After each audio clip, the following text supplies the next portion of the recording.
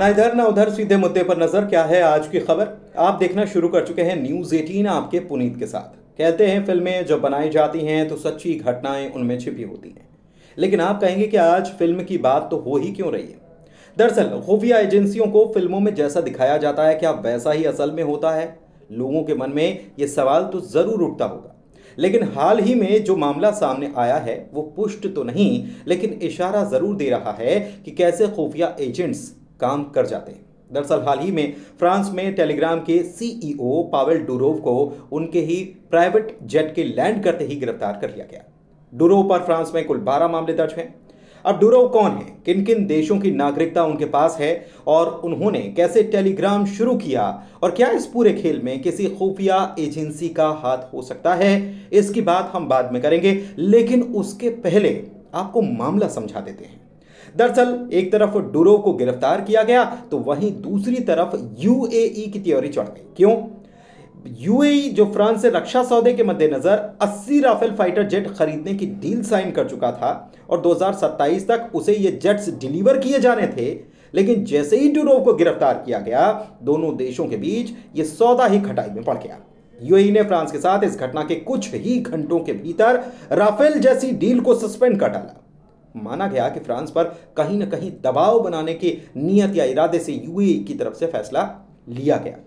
और इधर यह देखने को मिला कि डोरोव का केस बुधवार 28 अगस्त को कोर्ट को ट्रांसफ़र कर दिया गया। अब इन्वेस्टिगेटिव जज ये तय करेंगे कि डोरोव के खिलाफ आपराधिक मामलों की जाँच होगी या नहीं। इससे पहले कोर्ट ने डुरोव को 29 अगस्त तक कस्टडी में रखने के आदेश दिए थे।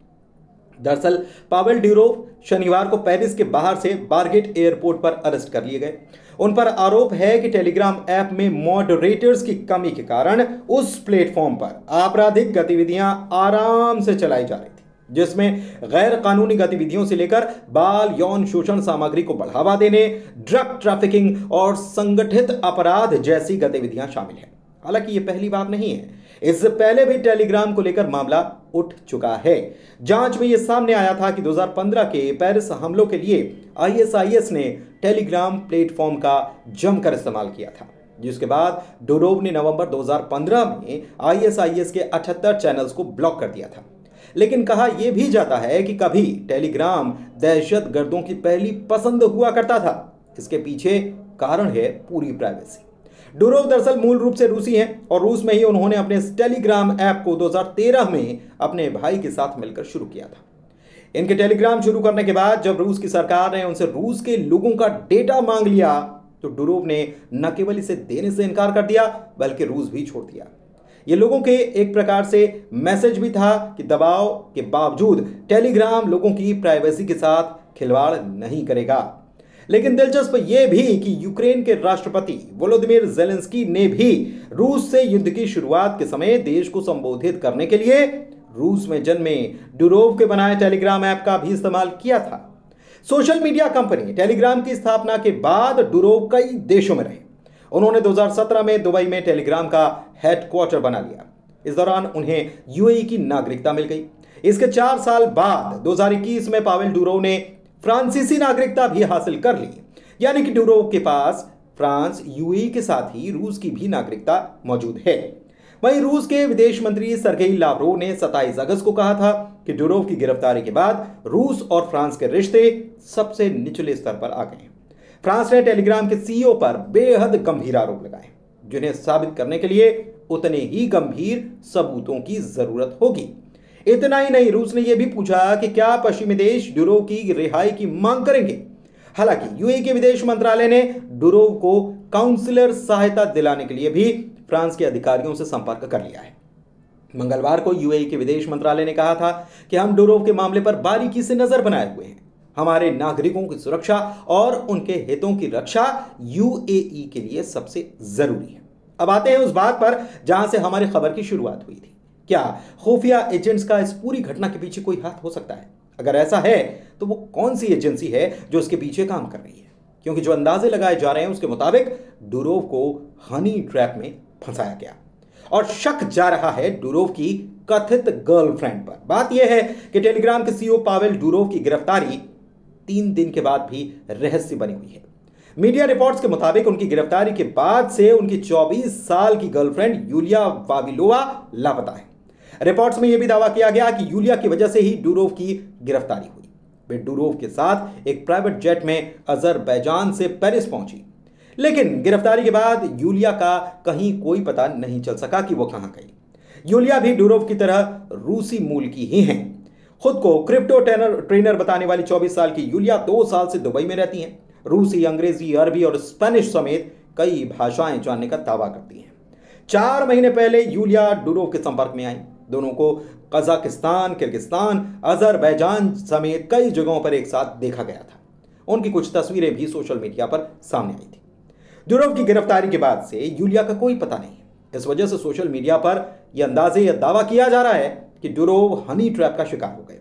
उन्हें गिरफ़्तार कराने के लिए ही यूलिया ने उनसे नजदीकियाँ बढ़ाई और उन्हें पेरिस लेकर आई, जबकि डूरो को पता था कि उन पर बारह मामले दर्ज हैं। हालाँकि कुछ अंदाजे ये भी लगाए जा रहे हैं कि यूलिया खुद निगरानी में रही होंगी और एक एक हरकत पर नज़र रखी जा रही होगी। या फिर यह भी संभव है कि अनजाने में ही सही डुरोव के साथ होने की जानकारी सामने आने के बाद उसने फ्रांस की जाँच एजेंसियों का ध्यान अपनी तरफ़ खींच लिया होगा।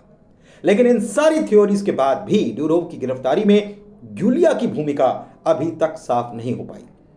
न्यूज़ एजेंसी एएफपी के मुताबिक यूलिया के घर वाले भी उनसे संपर्क नहीं कर पा रहे। जो उसके इस पूरे घटनाक्रम में शामिल होने को एक मिस्ट्री बनाता है। लेकिन फिर भी अगर यह कहा जाए कि डुरोव हनी ट्रैप का शिकार हुए हैं तो यह सवाल बेहद बड़ा हो जाता है कि आखिर कौन है जो डुरोव को हनी ट्रैप में फंसाने की कोशिश कर रहा है? क्या इसके पीछे इसराइल की मोसाद एजेंसी काम कर रही थी? या फिर रूस इसके पीछे? है क्योंकि हनी ट्रैप के ज़रिए जासूसी करने के मामले में रूस पूरी दुनिया में जाना चाहता है। हालाँकि अभी फ्रांस की तरफ़ से इस मामले को लेकर कोई टिप्पणी नहीं की गई है। ना ही इस मामले को लेकर कोई और देश भी कुछ कह रहे हैं। लेकिन सवाल सबसे बड़ा यह है कि जब डूरोव को यह पता था कि फ्रांस में उनकी गिरफ्तारी होनी है, बारह मामले उन पर चल रहे हैं और उनको कभी भी गिरफ़्तार किया जा सकता है तो उनके पास यूएई की नागरिकता है, रूस की नागरिकता है और फ्रांस की भी है। लेकिन इसके बावजूद भी वो फ्रांस के पेरिस क्यों गए थे? क्या उनको ले जाया गया था? तो ये इसके पीछे जो मिस्ट्री है, वो अभी तक सॉल्व नहीं हो पाई है। लेकिन सवाल कई सारे हैं और हनी ट्रैप की जहाँ तक बात है तो सवाल ये भी उठ रहा है कि हनी ट्रैप आखिर करवाया किसने? कौन इसके पीछे हो सकता है? किस देश का हाथ हो सकता है? या फिर मामला कुछ और है। सवाल यह भी खड़ा हो रहा है कि डोरोव के ऊपर जो गंभीर आरोप फ्रांस में लगे हुए हैं, उनकी गिरफ्तारी इस मामले को लेकर हुई है। लेकिन दूसरी तरफ़ यूएई इतना बौखलाया क्यों? यूएई ने डील आखिर क्यों रद्द कर दी? क्या इसके पीछे और कोई भी कारण है जो दोनों देश समझ तो रहे हैं, लेकिन कोई खुलकर कुछ कह नहीं रहा है? हालाँकि ताज़ा अपडेट ये आ रहा है कि पावेल को पूछताछ के बाद छोड़ा जा चुका है, लेकिन ड्यूरो पर पूछताछ के दौरान टेलीग्राम के कानूनों का हवाला देते हुए जांचकर्ताओं के साथ इंफॉर्मेशन और डॉक्यूमेंट शेयर न करने का भी आरोप है। धोखाधड़ी के मामले की जाँच में इस ऐप ने अधिकारियों के साथ जो सहयोग किया जाना था, वो भी नहीं किया। आरोप यह भी है कि टेलीग्राम का सबसे ज़्यादा इस्तेमाल जो होता है वो स्कैम, फ्रॉड, क्रिमिनल एक्टिविटीज़ में हो रहा है, जिसमें एक्सटॉर्शन और गैम्बलिंग जैसा मामला भी शामिल है।